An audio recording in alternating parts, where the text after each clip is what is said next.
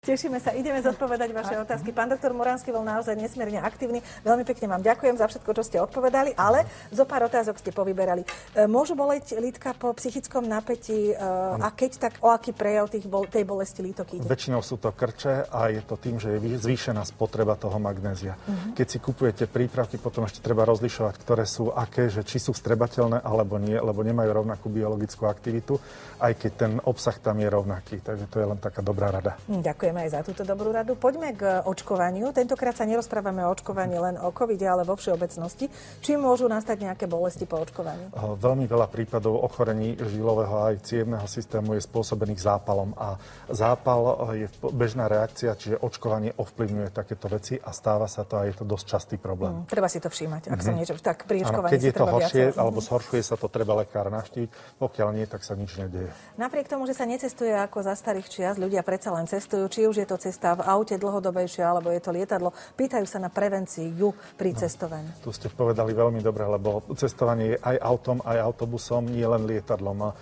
Cestovanie dlhšie ako 4 hodiny by malo byť už chránené a to znamená protizrážanlivou liečbou a bandážou. Čiže aspoň pod kolienky, častejšie prejdenie sa, častejšie zástavky alebo po prípade anopirín, no, ktorý je bežne dostupný ako účinná látka alebo niektoré iné prípravky už potom, keď je to komplikovanejší stav stal, tak je to vždy na mieste. V piatok po druhej, keď sa odchádza z Bratislavy, tak sa treba na to pripraviť, treba si to dať, pretože je možné len, že z Bratislavy sa človek dostane za hodinu. Bývajú zápchy a ako ste počuli, aj pri cestovaní autom treba byť e, v strehu. Môžem mať bolesti, aj keď nemám varixy? Áno, varixy sú, o, znamenajú predlženie alebo vynutie tých žil. Ale to, že sú rozšírené, že chlopňová, o, chlopňový systém nefunguje, zvyšuje pretlak a to práve spôsobuje tie problémy.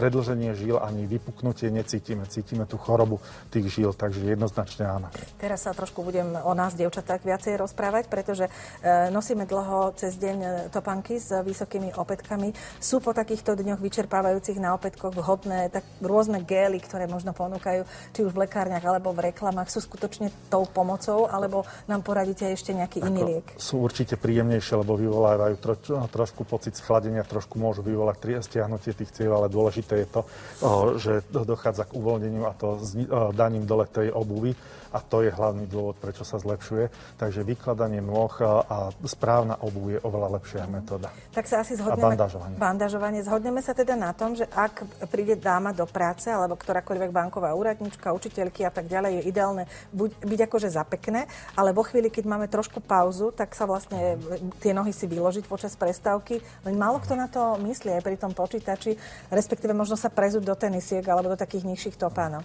Keď je to za pultom, už to nie je vidieť, takže dá sa to a sú ešte kompresívne aj pančucháče. Je veľa výrobcov, ktoré sú prvé, prvá trieda sú dostupné bežne a veľmi uľavujú a veľmi si to niektoré ženy, tí, ktoré majú problémy, si to pochvalujú a sú elegantné aj v týchto. Mm-hmm. Toho sa trošku chytím, pretože pri tých kompresívnych podkolienkách alebo pančuškách, lebo sú rôzne rozmery, e, človek má pocit, že keď si to dá na nohu, tak, to, tak viacej tú nohu stiahne a niekedy môže dostať taký strach, že prúdi mi tam krv, funguje mi všetko tak, ako má, e, koľko si to môžem nechať na tej nohe nohe. Skúste nás v tomto tak nasmerovať, že čo je efekt, ktorý máme očakávať a ktorý už nie. No, efekt je to, že sa zúžia cievy a tým pádom zrýchli prietok žilami, ktorý je návratný. Tepnový systém sa tam nepostihuje, lebo tam je vyšší tlak, takže no, zásobené je to úplne normálne. A no, spätný tok je ovplyvnený tým zrýchlením a preto výsledok toho je, že nebolia tie končatiny natoľko. A netreba sa báť, že vlastne nám to tak trošku stiahne, to patrí k tomu a treba sa na to len asi naučiť, ako zvyknúť si na to. Áno, nemá to byť bolestivé. Uh-huh. Takže keď už by to bola bolesť, dole k- kompresívne pančušky. Mimochodom, môžeme ich mať, myslím, maximálne 12 hodín za deň? Malo, malo by to, to byť takto, ale keď už sú nejaké komplikovanejšie ochorenia, ležiaci pacienti a takéto môže to byť aj dlhšie. Aj dlhšie. Dobre. E, či sa môžu krčové žily zlepšiť? Bez toho, aby ste do toho vstúpili možno? Bez operácie nie, nie. lebo mm-hmm. stále zostávajú predložené a vynuté. Dá sa zlepšiť iba ten prietok, čiže ten prejav toho ochorenia. Môžu sa vrátiť, môže sa vrátiť tromboza, keď sme ju teda prekonali? Tromboza je z rôznych príčin. Väčšinou sú to zápalové, hormonálne, dedičné poruchy a takéto. A keď vznikajú, je to najčastejšie u žien, hlavne s antikoncepciou, s, s hormonálnymi zmenami.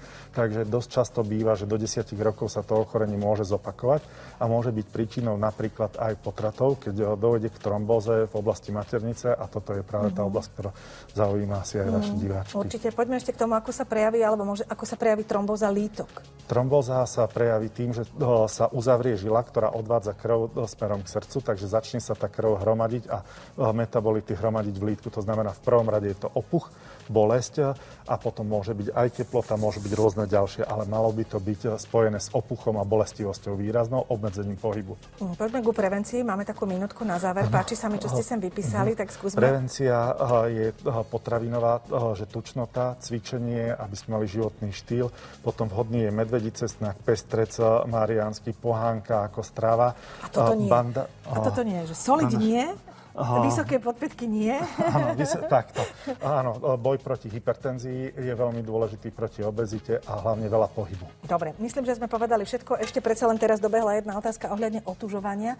Či môžu sa ľudia otužovať, ktorí majú takéto problémy? Otužovanie je dobré a takisto, keď sa človek postaví do bazénu, do hlbokej vody, zvýši sa ten hydrostatický tlak a vytláča to uh, smerom hore, takže tieto procedúry sú veľmi dobré. Teplo naopak rozširuje tie žily a stojí to tam. Dobre, ale keď sa rozhodnem, že idem otužovať nohy a mám, dajme tomu varixy, alebo mám takéto problémy, nie je to dobre skonzultovať? Že, alebo Ale... ako dlho môžem zostať v takej vode?